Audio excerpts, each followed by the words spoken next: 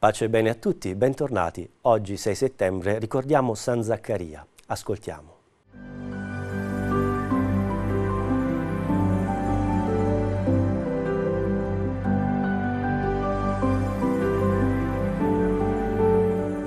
Zaccaria fu un profeta biblico, penultimo dei profeti minori dell'Antico Testamento.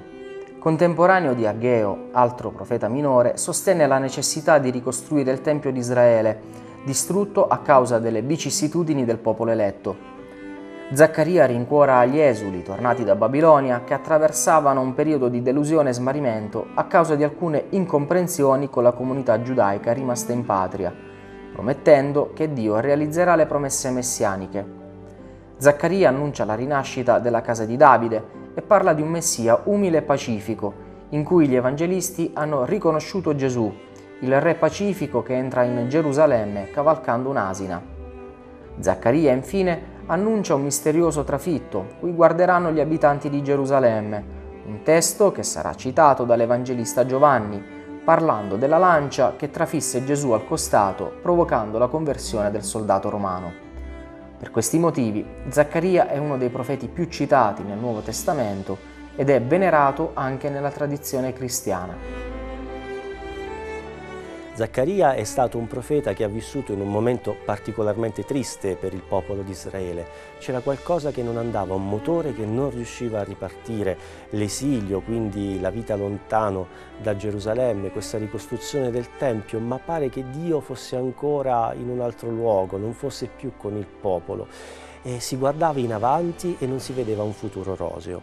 Allora proprio Zaccaria profeta inizia ad incoraggiare, inizia a rianimare gli sfiduciati e come lo fa? Iniziando a mettere al centro di tutto una profezia, ossia quella del Messia. Inizia a riparlare del Messia, di questa promessa, di quest'uomo che tornerà a salvare il popolo e restituisce al futuro una promessa del bello.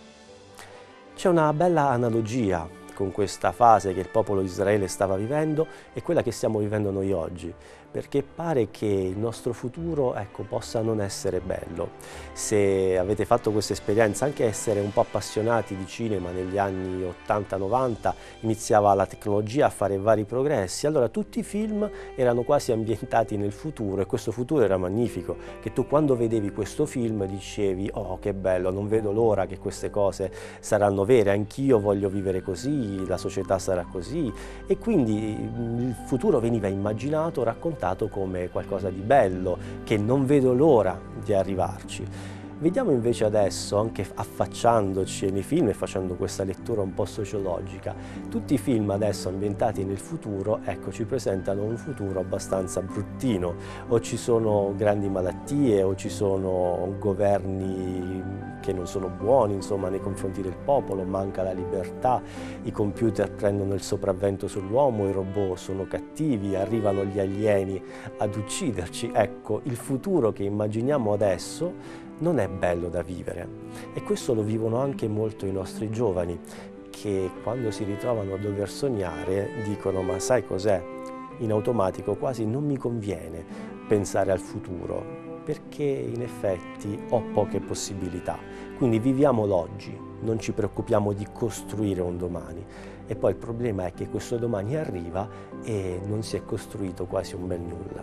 Cosa possiamo fare allora noi oggi? Prendiamo spunto dal profeta Zaccaria, iniziamo a mettere un po' di coraggio nel cuore dei nostri giovani, testimoniandoli che la bellezza arriverà, anche perché la bellezza più grande non è una bellezza fatta da una carriera o da altro, ma è la bellezza di Gesù Cristo che è una certezza nella nostra vita incontreremo Gesù Cristo che ci aspetta e che ci salverà. E che cosa c'è di più bello di questo come nostro futuro? Che è una grande promessa. E affinché tutto ciò prenda concretezza e forza nei nostri cuori, noi ci affidiamo all'intercessione di Zaccaria profeta e lo preghiamo. San Zaccaria prega per noi.